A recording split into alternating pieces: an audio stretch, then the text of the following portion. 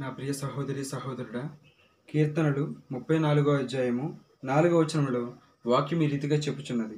నేను యహోవ యొద్ద విచారణ చేయగా ఆయన నాకు ఉత్తరమిచ్చాను. నాకు కలిగిన భయములన్నిటిలో నుండి ఆయనను తప్పించాను. అవును మన దేవుడు ఏదో ఒక దాంట్లోంచి తప్పించి మిగతా వాటికి మనల్ని వదిలివేయడు. ఆయన మనకు కలిగిన భయములన్నిటిలో నుండి అది నువ్వు ఏ భయానైనా కలిగి ఉండొచ్చు. ప్రాణభయం కానీ ధన భయం కానీ దారిద్ర్యపు భయం కానీ అనారోగ్యపు భయం కానీ లేదా ఏదైనా నువ్వు ఎటువంటి రకాల ఎటువంటి ఏ భయమైన నువ్వు కలిగి ఉండొచ్చు కానీ ఆ యొక్క కలిగిన భయాలన్నిటిలో నుండి మన దేవుడు ఏం చేస్తాడు? మనల్ని విడిపిస్తాడు. మన దేవుడు సజీవుడు. మనల్ని విడిచిపెట్టే దేవుడు కాదు. యాయిరు కూడా అలాగే అన్నాడు. నా యొక్క కుమార్తె చనిపోవడానికి సిద్ధంగా ఉంది. అదిగో చనిపోయిందంట ప్రభు నువ్వు కొంచెం ముందు వస్తే బాగుండేది అన్నాడు కానీ ఇప్పుడు యేసుక్రీస్తు వారు ఏమన్నారు? భయపడకు విశ్వాసం మాత్రం ఉంచు. అవును మనకి ఏ భయం కలిగినా సరే ఆ ప్రతి భయంలో ప్రతి భయంలో నుండి దేవుడు మనల్ని విడిపిస్తాడు. ఇంకా వాక్యం ఇంకొక రీతిగా ఏం చెప్తుంది అంటే కీర్తనలు రాసిన కీర్తనల గ్రంథము ముప్పై నాలుగో అధ్యాయము పదిహేడు వచనంలో వాక్యం ఈ రీతిగా చెప్పుచున్నది. ఏంటండి? కీర్తనలు ముప్పై నాలుగో అధ్యాయము పదిహేడు వచనంలో వాక్యం ఏం చెప్తుంది అంటే నీతిమంతులు మొర్రపెట్టగా యహోవా ఆలకించను వారి శ్రమలన్నిటిలో నుండి వారిని విడిపించను. హల్లెలుయ. అవును నీవు నేను కూడా యేసుక్రీస్తు వారి ద్వారా ఆయన మన కొరకు చిందించిన రక్తము ద్వారా ఉచితముగా నీతిమంతుడిగా మనం మార్చబడి ఉన్నాము అవును మనది దేవుని నీతి. కాబట్టి ఇక్కడ వాక్యం ఏం చెప్తుంది? నీతిమంతుల మొరపెట్టగా అటువంటి ఉచితముగా నీతిమంతులుగా కలిగి ఉన్న మనము యేసుక్రీస్తు వారు ఏం చేశారు మనల్ని? ఉచితముగా నీతిమంతులుగా మార్చారు. కాబట్టి మనము నీతిమంతులం అయ్యాము కాబట్టి నీతిమంతులు మొరపెట్టగా ఏం చేస్తారు ఆయన?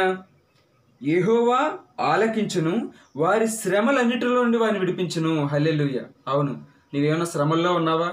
శోధనలో ఉన్నావా? అనేక రకమైన ప్రయాసాలతో నీ యొక్క జీవితాన్ని నువ్వు కొనసాగిస్తున్నావా? నీకు ఎటు చూసిన ఇబ్బందుల? ఎటు చూసిన ఆటంకాల? ఎటు చూసిన శోధనల? అన్ని దారులు మూసుకుపోయాయని చెప్పి నువ్వు అనుకుంటున్నావా? కానీ నువ్వు ఏమాత్రం భయపడకు దిగులు పడకు. ఏహోవా నీ యొక్క భయములన్నింటిలో నుండి విడిపించును గాక. ఏహోవా నీకు కలిగిన శ్రమలన్నింటిలో నుండి విడిపించును గాక. ఎందుకనగా ఆయన వాక్యము సజీవము గలది ఆకాశమును భూమి గతించినా కానీ నా మాటలు ఏమాత్రం గతించం మీరు చెప్పి ఉన్నారు ఇంకా మీ యొక్క విశ్వాసము పెంచబడాలి అంటే వాక్యం మీ రీతిగా చెప్పుచున్నది. ఆయన ఏమంటున్నాడు ఆయన? ఏహోవయందు భయభక్తులు గల వారి చుట్టూ ఆయన దూత కావలియుండి వారిని రక్షించను. హల్లెలుయ్య ముప్పై నాలుగవ కీర్తన ఆరో అధ్యాయంలో వాక్యం ఈ రీతిగా చెప్పుచున్నది ఏంటండి? ఏహోవయందు ఎవరైతే భయభక్తులు కలిగి ఉంటారో ఎవరైతే యేసు ఎందు నమ్మిక ఉంచి ఉంటారో ఆయన చుట్టూ ఒక దూత కావలి ఉండి ఏం చేస్తుంది? వారిని రక్షిస్తుంది. అవును నీవు కూడా నీ యొక్క నీ చుట్టూరు కావలి ఉన్న దూతలను చూడాలనుకుంటున్నావా? ప్రార్థన చెయ్యి. ఇదిగో ఎలీష యొక్క దాసుడు ఏ రీతికైతే తన యొక్క మనోనేత్రములు వెలిగించబడి ఎలీషా వెనుక ఉన్న అగ్ని రథాల సమూహమును ఏ రీతికైతే చూశాడో అలాగే నీవు కూడా దేవుడు నీ చుట్టూరు ఉంచిన దూతల సమూహాన్ని నీవు చూడగలవు. కాబట్టి నీ యొక్క నేత్రములు మనోనేత్రములు వెలిగించబడాలి. దేవుడు నీ కొరకు ఎట్టి కార్యములు చేశాడో నీవు తెలుసుకోవాలి. అవును నీకు కలిగే ప్రతి భయం నుండి ప్రతి శ్రమ నుండి ఆయన నిన్ను తప్పకుండా విడిపిస్తాడు. కాబట్టి భయపడకు దిగులు పడకు. ఏ తెగులు నీ గుడారమును సమీపించదు. లోకములో ఏ యొక్క తెగులు ఉన్నా ఏ యొక్క మరణ భయం ఉన్నా ఏది కూడా నిన్ను సమీపించదు. నీ పక్కన వెయ్యి మంది పడినను నీ కుడి పక్కన పదివేల మంది కూలినను అపాయము నీ యొద్దకు రాదు. నీవు సజీవుడు దేవుని కుమారుడవు కుమార్తెవు. దేవుని ఆత్మచేత ఎందరో నడిపించబడిదరో వారందరూ దేవుని కుమారులును కుమార్తెలై ఉన్నారు. హల్లెలూయ. అవును నిజముగా నువ్వు దేవుని కుమారుడివి కుమార్తెవి. నువ్వు భయపడకు.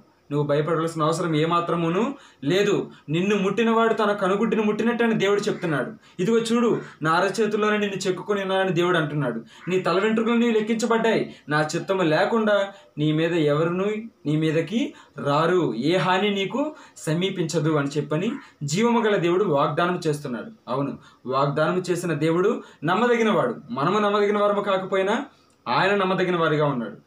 కాబట్టి నువ్వు ఆయన వాక్యం పైన విశ్వాసం ఉంచి ఆ వాగ్దానం ఎప్పుడైతే నువ్వు ఎత్తుపట్టుకుని ప్రార్థన చేస్తావో దేవా నాకు కలిగిన భయాలన్నింటి నుండి నేను విడిపిస్తానన్నావు. విడిపించు. నాకు కలిగిన శ్రమలన్నింటి నుండి విడిపిస్తానన్నావు. విడిపించు అని ఎప్పుడైతే నువ్వు ప్రార్థన చేస్తావో ఖచ్చితంగా జీవమగల దేవుడు ఆయన పేరట అడిగిన ప్రతి ప్రార్థనను అంగీకరించి నీకున్న భయాలన్నిటి నుండి శ్రమలన్నిటి నుండి ఆయనను ఖచ్చితంగా విడిపిస్తాడు. దేవుడి కొద్ది వాక్యాన్ని దీవించి ఆశీర్వదించునుగాక. ఆమె